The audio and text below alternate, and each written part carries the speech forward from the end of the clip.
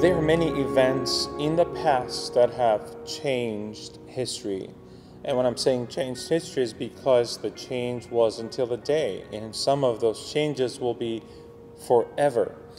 You may be thinking about wars or revolutions or some discoveries, things that have changed our lives, our world, the system forever.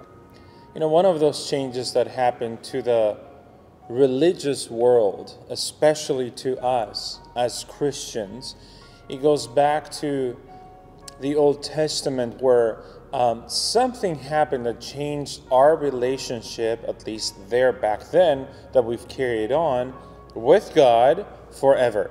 So, a religious historical change that took place, which is forever. I want you to put attention. I'm going to read from 1 Samuel chapter 8, and if you read it in your Bibles, probably the title will tell you what I'm about to talk about. The title is Israel Demands a King. Just so you know the history a little bit, God had, a, and at that point, God had appointed Samuel to be the prophet over his people. And as Samuel is aging, then he appoints his two sons to be more like judges over the people that would judge um, their actions, their disputes, um, when they would come to the temple, bring their offerings, all those things, very traditional religious practice that he had appointed his two sons to watch over. But then we read about his two sons being very corrupt, dishonest, and even the scripture says they would pervert justice. I mean, extreme dishonesty. So out of this, the people gather, they come to Samuel, and they demand, demand the following. They say, Will you appoint a king to judge over us like all the other nations? When Samuel hears this, he goes to the Lord and he speaks this prayer which in response in verse number 7, here's what the Lord says. And the Lord said to Samuel, Obey the voice of the people in all that they say to you, for they have not rejected you, Samuel, but they have rejected me from being king over them. Every time I read this word, I know that history changed. Something changed, I, in my opinion, is as as painful in God's heart as whatever happened in Genesis. It was humanity again claiming independence from God. Why? Because God was their king and they were his people. But here it says, Look, Samuel, they have not rejected, they rejected me from being king over them. Do you feel the pain in those words? I do. And, and that's why I tell you, I feel like history changed again. You know, God loves his people so much that I don't want to say he, he's trying to convince them out of that decision, but as a good father, as a good king to them, gives them the warning says, This king of yours that you want to choose will not only take the best out of you, but will take the best of you.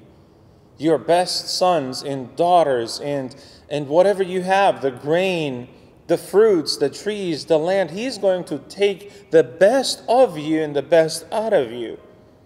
And gives them this warning. In verse 18 says, In that day, when you realize what you've done, you will cry out because of your king, whom you have chosen for yourselves, but the Lord will not answer, will not answer you in that day this chaotic, painful, uh, history changing moment, I believe happens until now.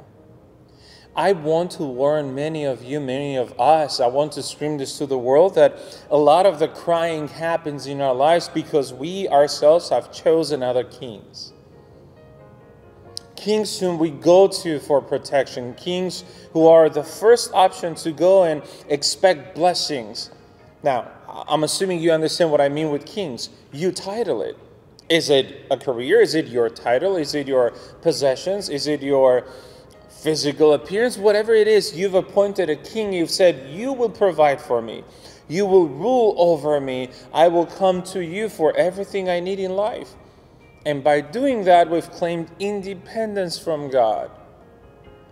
Just the way God warned Israel, it says, you, you, You'll cry one day because you've proclaimed, you wanted independence from me. And he says, and he, God said to Samuel, they haven't just rejected you, they've rejected me. It's, it's a warning to all of you, my friends. It's a warning to all of us, just to make sure that no matter what comes in our lives, we'll always respect our authorities in life. Yet, King, we have one, the King of Kings. Let me close with Revelation chapter 19, verse 16. On his robe, this is Christ returning, on his robe, on his tie, he has a name written.